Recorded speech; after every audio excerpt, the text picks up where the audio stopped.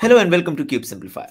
In this video, we'll be diving through PCA, Prometheus Certified Associate Exam. And also, I'll be giving you a demo of how to push a custom metrics from a simple Python application using Push Gateway to Prometheus. So let's get started. So Prometheus Certified Associate Exam is a new CNCF certification. It is MCQ type, just like KCNA. You have few options to choose from and you can select the right answer and it's one and a half hour exam with three years of validity. And it i think there is one retake available as well. It covers five major areas. Now why this is important? Because whenever you are dealing with systems and especially the cloud native systems and uh, with increase in the number of microservices increase in the number of systems increase in the complexity of the softwares that we are using it becomes very important to monitor them to observe them to get the right metrics out of them so that we can know when what happened to the system uh, for example, when you install Kubernetes or when you have a Kubernetes cluster, there are a lot of Kubernetes components itself that needs monitoring. Like you have the node, you have uh, you know kubelet you have controller manager you have api server all these things itself are there to monitor so that it, it doesn't go down uh, because your infrastructure layer should be stable your kubernetes layer should be stable then comes your uh, microservices so you should be able to know uh, when a microservice is going down uh, if a microservice is going down then what is the impact how uh, with which exact microservices is getting impact the slowness uh, so that you can actually derive some of the metrics uh, some of the terminologies like SLOs, SLAs, SLIs, uh, the business metrics that are very critical. So that is why observability is important. That is where uh, the most widely used tool in the CNCF ecosystem is uh, Prometheus, and that is why CNCF created a Prometheus Certified Associate exam. Now, coming to those five areas. So first is the observability concepts, uh, which is 18%. Then is the Prometheus fundamentals, which is 20%. Uh, then is the PromQL, uh, Prometheus query language, which is 28%. Next is the instrumentation and exporters, 16%. We'll be doing some uh, instrumentations and we'll definitely be exporting that to uh, via the push gateway. Uh, then is the alerting and the dashboarding, again, 18%.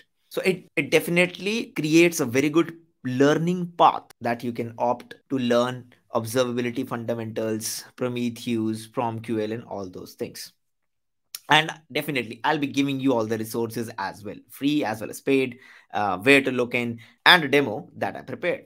So first uh, observability.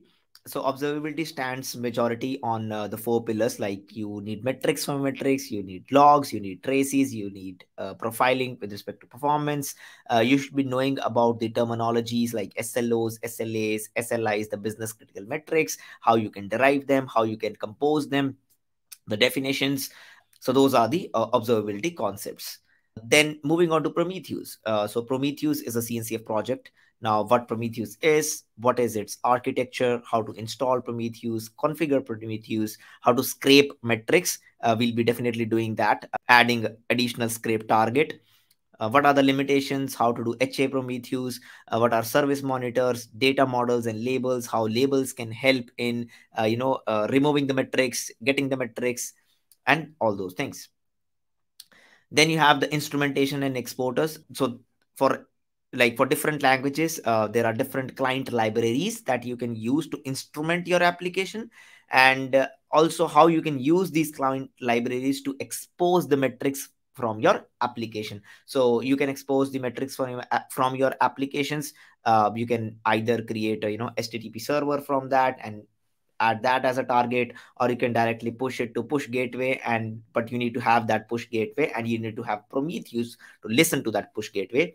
That is the example that we'll be doing today. Then you have alert manager. So uh, what alert manager is alerting is very important. Uh, so when when you are monitoring something um, now based on certain metrics and parameters you can configure certain set of alerts.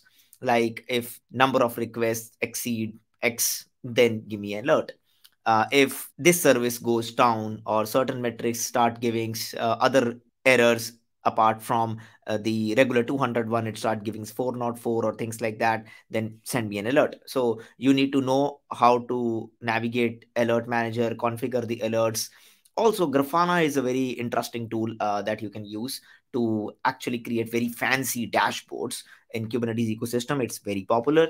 Uh, so you can definitely use grafana um, and you how to add data source uh, Prometheus as a data source in Grafana and create dashboards from that. Uh, the last part is uh, PromQL, how to query the data. So querying the data is important. Uh, what are the operators like, uh, you know, equal to, greater than equal to, then aggregation if you want to have sum of certain metrics which is there or maximum of certain metrics which is there. So you should know how to do the aggregation.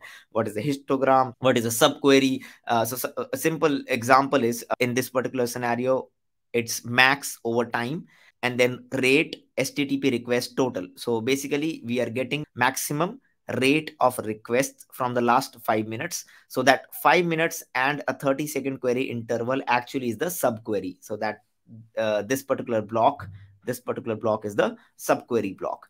And uh, this metrics will give you the maximum rate of request from the last 5 minutes with a 30 second query interval. The sample range that we have given is 1m and the metrics that we are taking is http requests uh, total. So that is like you should be knowing how to do the subquery now from an sre perspective or uh, you know kubernetes engineer devops engineer this will help you a lot because uh, in your day-to-day activities also you will be definitely dealing with um, Prometheus or monitoring solutions, then you'll be writing the queries because you have to create those alerts, you have to create those metrics, you have to, uh, you know, export them or create dashboards in um, Grafana. So you will be dealing with all of these. Now, the question arises is whether uh, who should be taking this certification. Uh, like if you're interested in the observability space, then definitely go for it. And also, if you want a fancy badge uh, getting added to your uh, Credly, then also you can take this particular uh, certification exam. Um, I think it's pretty good that CNCF is coming up with such curriculums and exams because this gives a structured approach to learn. Uh, now, there can be different resources from where you learn, but at least this gives you a structured approach to learn. And then, obviously, uh, that's a simple uh, validation by giving the exam and you know uh, taking all the boxes that you have prepared it right. Um, always remember one thing: curriculum keeps on changing. Uh, you know, I have seen that over the years. The official always keep an eye on the official CNCF curriculum repository. So this is the Prometheus certified exam and it gives you all five things and what all is expected over there. So I have actually covered all these things. Now from where you can actually learn. So let me pull a few resources for you.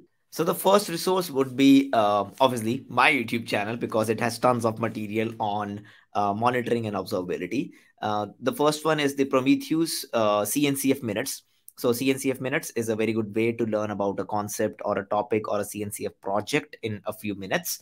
And you can see in this particular video, I'm telling about Prometheus, you know, uh, its architecture, like it's a time series database. Uh, you have a push gateway that you can have targets and you can configure that. You have alerting, you have PromQL uh, and Prometheus Web UI, Grafana that you can use for data visualization, alert manager to send uh, the alerts to PagerDuty email, and you have service discovery from uh, you can discover discover targets like Kubernetes and file. And this is the Prometheus server that will be there on the node, and your TSDB either will be using STD or SDD from the node, and or you can configure the uh, external storage as well. So go through this video, and yeah, I actually told you the architecture as well. But yeah, go through this video and then you should definitely check out uh, the Kubernetes observability workshop on our channel uh, by Michael. Uh, it is again a three and a half hour amazing workshop with hands-on, uh, you know, uh, starting from scratch, all about observability, Prometheus hands-on session, and it will be really good for you doing all the hands-on. Now, these are the free resources, uh, but I want to tell you some paid resources as well, which are really, really good which are from KodeKloud. So KodeKloud is a platform where you get a lot of great courses. Its creator is Mumshad. Uh, everybody like in the certification world knows Mumshad uh, because of his amazing courses on uh, you know CK, CK, DCKs, and many more. Uh, but uh, their platform has evolved a lot, and uh, this is the one that I'm talking about, the Prometheus Certified Associate exam. Uh, and you can see if you browse through course contents, you can actually see you know introduction. you have observability fundamentals that gives you a definition of SLOs, SLIs, Prometheus fundamentals you get all the basics installation architecture node exporter configuration and you also get access to the labs. And you how to use it in containers how to monitor the containers and then it moves gradually uh, to the from promql and how you can use promql operators aggregation subquery histograms and then in dashboarding and visualization how you can use the expression browser for graphs etc then application instrumentation uh, what is it you know how you can use labels how you can instrument your application uh, a python application and stuff like that. Uh, then the service discovery is there relabeling and with with a demo and a lab.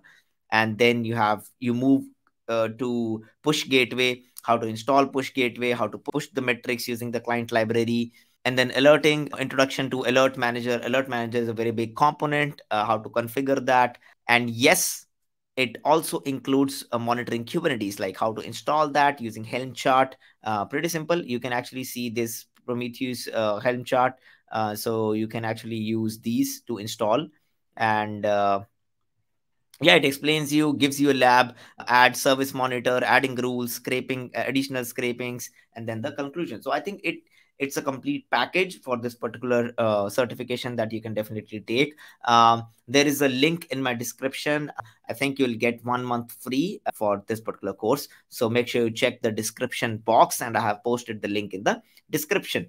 Also do check out KodeKloud Th this video is actually brought to you by KodeKloud so so big uh, shout out to them now let's move to the demo. Uh, I actually want to show you, you know, something like installation, how it works and things like that.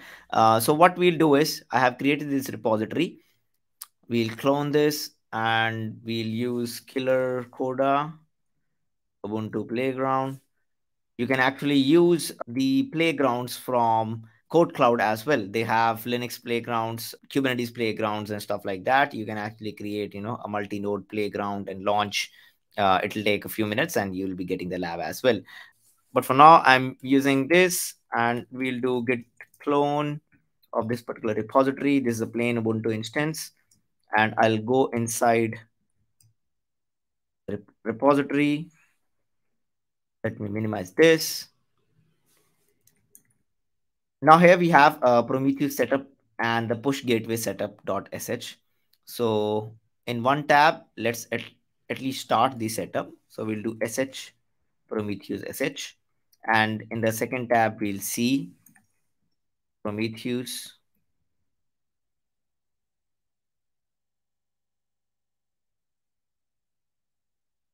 setup. So you're adding the user, uh, creating directories, and then downloading uh, the latest release. This is important. Downloading the latest release, uh, moving everything to user local bin, adding the systemd service file, and starting Prometheus.